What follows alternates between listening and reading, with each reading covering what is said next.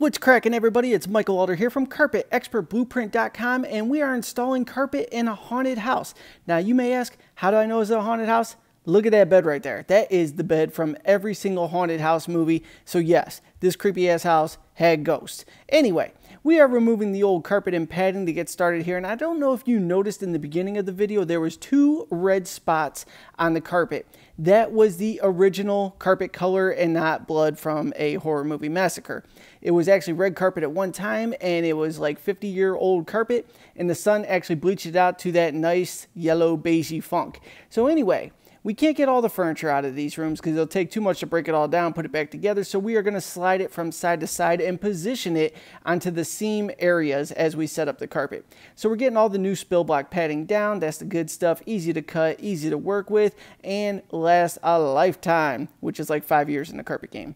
So we're taking our plush carpet, getting it all laid out here. Once it's positioned on the one side, we're going to pick up the bed, set it on the middle there so I can go ahead and stretch everything in. And then from there, we could stage out the rest of the areas. Here's the seam to the room.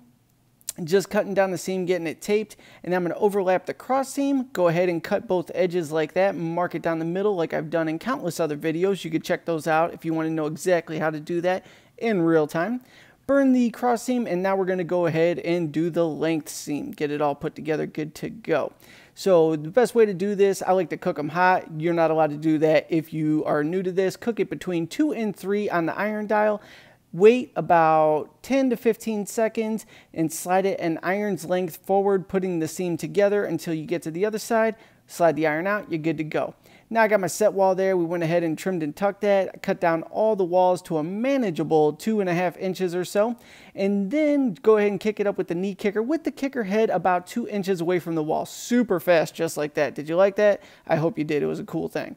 Now you go ahead and trim and tuck it. And when you're cutting it down, make sure you cut it about an eighth to a quarter inch hefty. And it should tuck beautifully right along the baseboards there. And we're just working our way around the room continuing to stretch everything until all areas are tight and tucked and good to go. We'll go ahead and finish out these last little sections here and then we're going to dive into a new job site where we're removing ugly Berber carpet and here we go. Look at this Berber carpet. In its heyday, this was some phenomenal carpet, but it's been there for a good 15 to 20 years and it is time to swap it out. You got the old funky padding all stapled and stuck to the floor from spills and staples and everything else. So we're going to go ahead, get all the carpet out, and then we're going to do some scraping where all the staples are. You could use a flat shovel. You could use your shoe, just rubbing it back and forth if you want to keep it real hood like that. Just get the floor nice, clean, prepped, ready to go. See us running around with a little scraper there, getting it cleaned up, get everything swept up, and then it's time for new padding. So once again, in this job site, we're going to be using the 7 16 8 pound spill block padding. Not only is it a good product, but it's very installer friendly. It cuts easy, installs easy, everything's good. And then we're doing a nice uh, mid-grade plush carpet, pretty dense, good to go go ahead and kick on my set wall there. I'm going to trim and tuck it so everything's good. Then I'm going to head over to the opposite wall from the one I just kicked, stretch that on hard, throw a good tight stretch on it, trim and tuck, and then fall back to the set walls, just tapping those on nice and easy, flowing over to the opposite walls and blasting them on to make sure the room is completely stretched tight and no bubble issues whatsoever. Now, that's the lazy man's trick right there. You see how I did that kind of little slide under the door? Who wants to pop a door off if you don't have to? Here is the big room here. We got a 24 foot drop room, meaning there are no seams in it.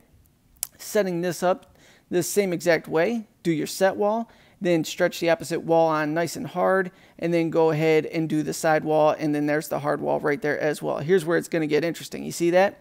Half inch short. So I locked the crab stretcher onto it to go ahead and wrap it over the edge, make sure I got the stretch nice and tight. Now I'm cutting and burning the final seam and I'm good to go. So that's all there is to this. I hope you found this somewhat entertaining. Go ahead and tap the subscribe button if you're not subscribed already.